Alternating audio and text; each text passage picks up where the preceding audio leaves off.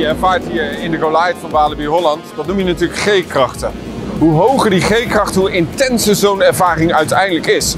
Maar wat gebeurt er als die G-krachten te hoog oplopen? Daarom hebben we een afspraak bij het Centrum voor Mensenluchtvaart van de Koninklijke Luchtmacht. 2, 3, en niet te snel. Huiden in 1, 2, 3, uit en in.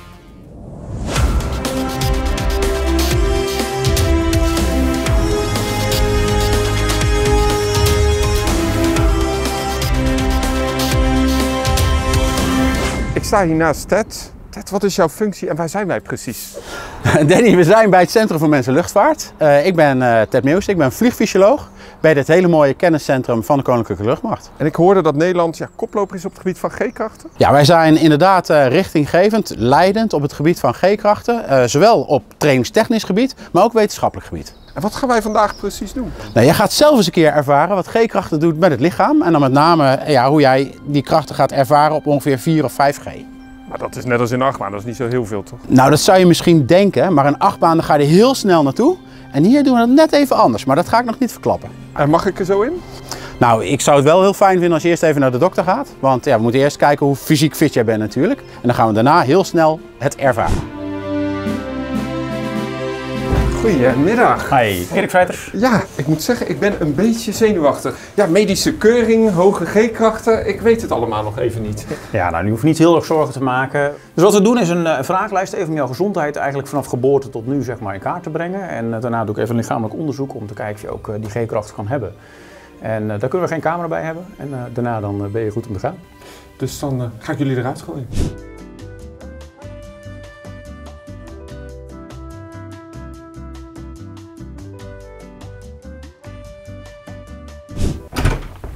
Zo. Nou Danny, bij deze je formulier, je bent goed om te gaan. Hans. Dag Danny. De operator dadelijk van de G-krachtmachine. Wat is jouw functie precies hier? Ik ben een luchtvaartfysioloog en ik train met het personeel trainen wij luchtvarenden om te gaan met onder andere hoge G-krachten. Dus waar jij zo meteen aan blootgesteld wordt. Jij gaat me klaarmaken voor de test. Dat kan niet in deze outfit. Nee, het is een heel leuk uh, ding wat je aan hebt, maar je moet natuurlijk een vlieger overal aan. Ja, daarnaast hebben we straks een anti-G-boek voor je. En ik heb ECG-stickers voor je, zodat de dokter zo meteen eh, je hart in de gaten kan houden als je draait.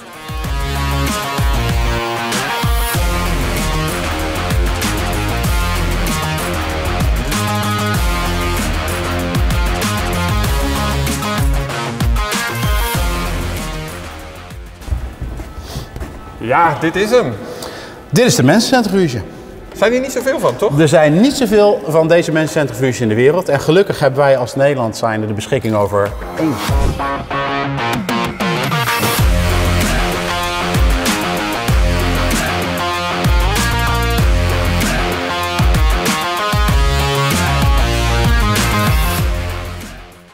En wat gaan we precies doen hier zo?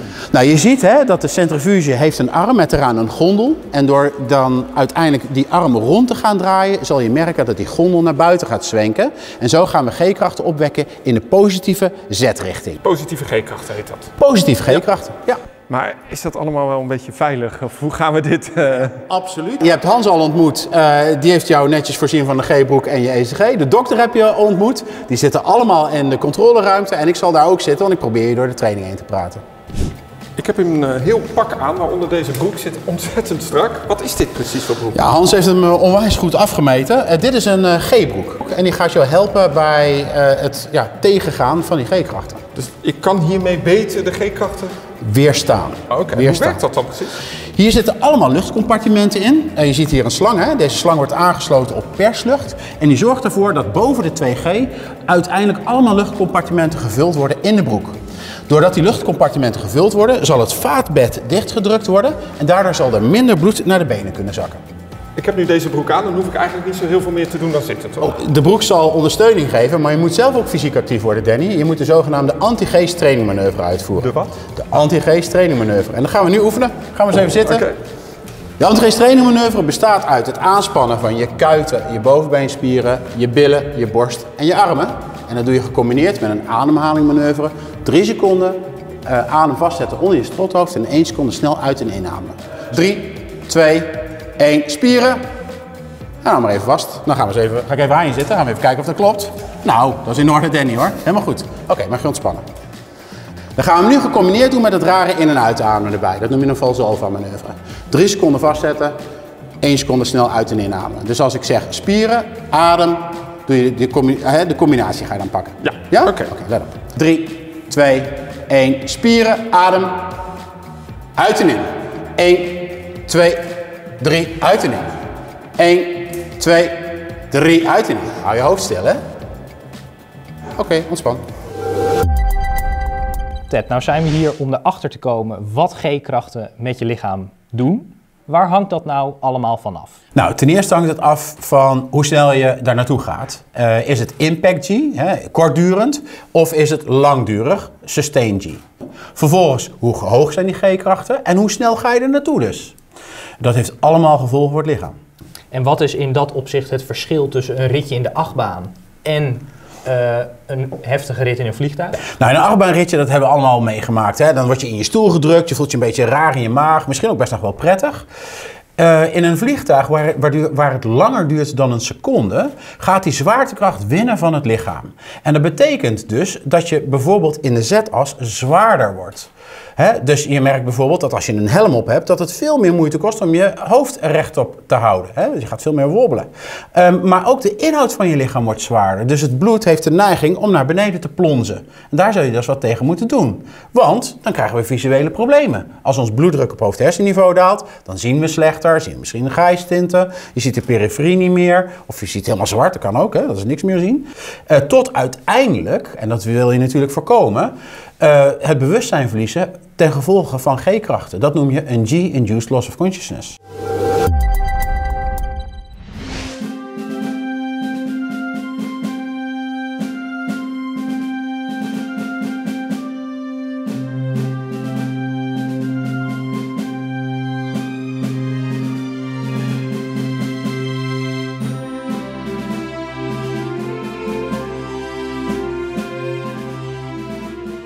Nou Danny, we hebben een eh, buitenbeeld. Je ziet eh, dat je achter eh, in dit geval een F-16 aan het vliegen bent. En je ziet ook allemaal informatie. Voor jou zie je hier G-waardes verschijnen. Dan kan je zelf een beetje zien op wat voor G-niveau je zit. Voor de rest mag je alles vergeten, gewoon lekker genieten van het buitenbeeld. Wat we als eerste gaan doen, Danny, is dit. Dit noemen wij een rellig. Relaxed G. Dus dat betekent dat er geen G-broek aan staat. Je hoeft niet je spieren aan te spannen en ook niet het rare ademhalen erbij te doen. We gaan gewoon heel langzaam de centrifuge versnellen en dan pakken wij hem op een gegeven moment op en dan laten we je daar een beetje ervaren wat G-krachten zijn. Dan gaan we decelereren en we zetten jou dan weer voor de deur.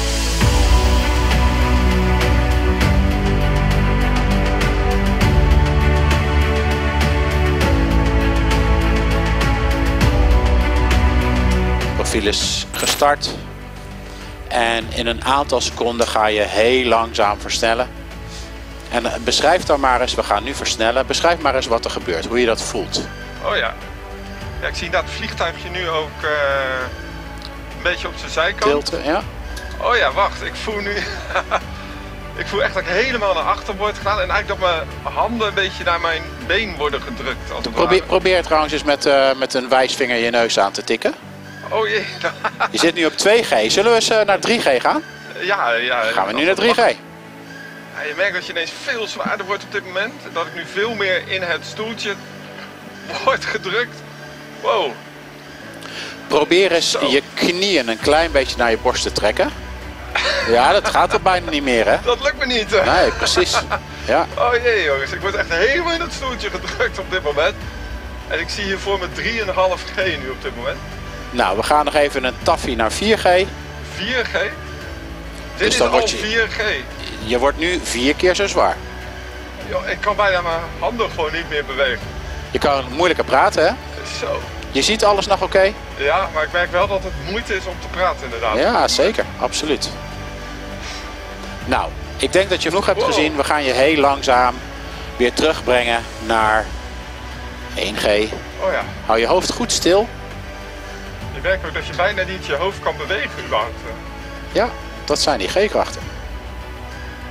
Oh ja. Ik, kan, ik merk weer dat ik, Je wordt eh, weer, eh, je, je hebt weer kracht, hè? ik, merk weer dat ik eh, mijn handen kan bewegen inderdaad. Ja. Goed zo. Wow.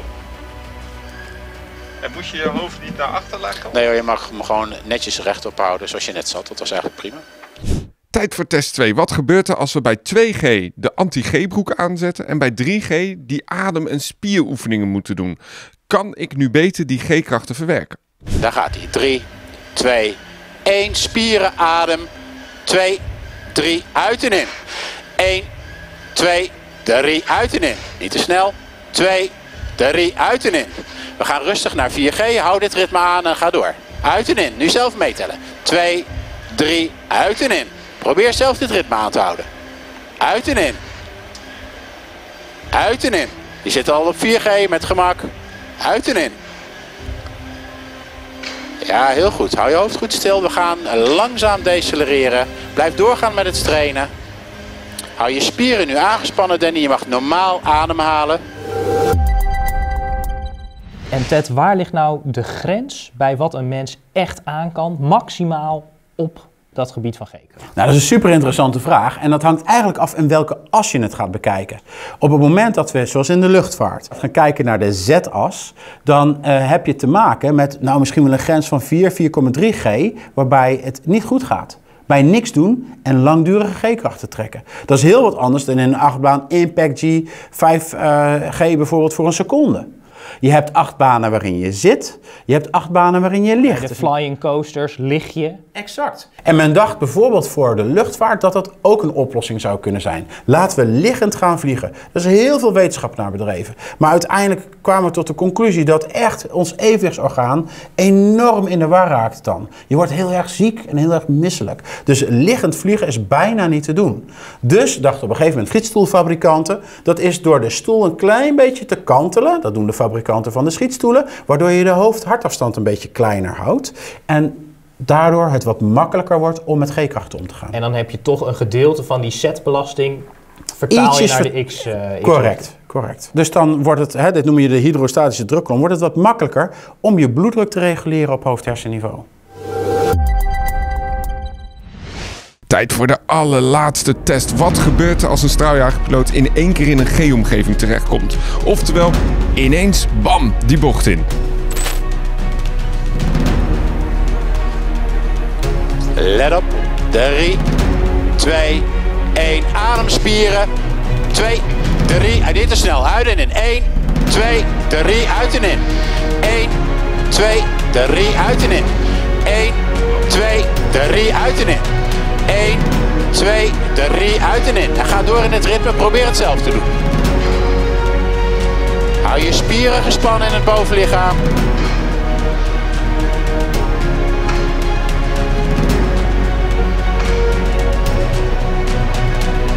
Gaat heel goed. Je zit bijna al 30 seconden op 4G. Hartstikke goed. We gaan nu decelereren. Blijf doorgaan met het trainen. Je mag je ademhaling nu normaal doen. Spieren aangespannen houden. Ja, goed hoor, Danny. Lekker ontspannen nu.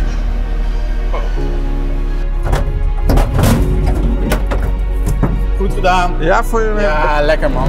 Gedaan. Dus dit was eigenlijk eh, 4G. En eh, je denkt 4G, mm, 4G. Maar nu zie je wat je, wat je moet doen als, als piloot eigenlijk. Eh, het voorbereiden denken. Maar het is eigenlijk beangstigend hoe snel je vergeet om te ademhalen. En dat je gewoon niks kan. Je zit vast. En dat eh, moet je nagaan. Dit is maar 4G. En een straaljagerpiloot zal meervoudige daarvan krijgen. Best eh, intens om te ervaren. Jurnan, wow. Wat ik vandaag heb meegemaakt ga ik nooit meer vergeten. Dit was echt zo intens. Ik ben een achtbaan gewend. Ja, en wij zeggen altijd achtbaan, maximale G-kracht 5. Ah, Maar makkelijk. heel kort hè. Terwijl hier in die centrifuge heb je minutenlang 3-4G ervaren. Dat is echt wel even een ander verhaal. En ook een hele andere type G-kracht. Ik heb dit nog nooit zo ervaren hoe heftig dat was. En dan moet je nagaan. Ik ben geen piloot. Je Nee, moet- die moet ook nog vliegen. je moet nog wat dingen doen. Ja, Ja. dat is ongelooflijk. Ja. Ik ben ongelooflijk dankbaar voor deze ervaring. En ik wil hier dan ook het Centrum voor Mens en Luchtvaart ongelooflijk bedanken voor deze... Wauw, voor deze ervaring. Het is ongelooflijk. Ik ben er echt sprakeloos Ja, van. het was een geweldige dag. En wat fijn dat dat centrum gewoon hier in Nederland zit. En dat wij hier die expertise hebben op het gebied van G-kracht. wereldwijd. We hebben meer G-krachtenvideo's gemaakt, bijvoorbeeld in Slagharen. Heel tof.